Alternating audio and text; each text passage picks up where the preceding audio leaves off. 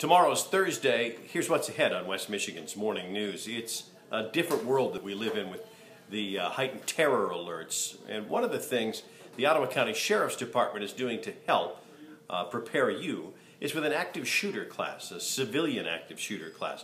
We'll tell you about who can go, when, where, and how you register for it with Sergeant Chris Coster tomorrow from the Ottawa County Sheriff's Department.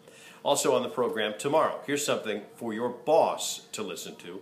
A new study says that the stress added to your workday by answering emails when you're off the clock uh, warrants you not doing that. So, when are we ever off the clock? Jason Teru will join us tomorrow on the program, workplace culture expert with Fox News Radio. And we'll talk about big weekend events. Of course, the Grand Haven Coast Guard Fest is going on, and we're setting up Restaurant Week here in Grand Rapids. Doug Small with Experience Grand Rapids will join us.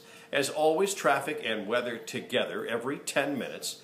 We start tomorrow morning at 5 with me, Steve Kelly, Brett Paquita, and Rick Albin on Wood Radio.